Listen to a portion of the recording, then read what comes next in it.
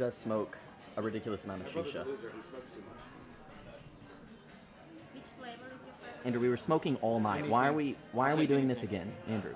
We were smoking all night Oh yeah, we actually long. Yesterday I smoked about 30 cigarettes.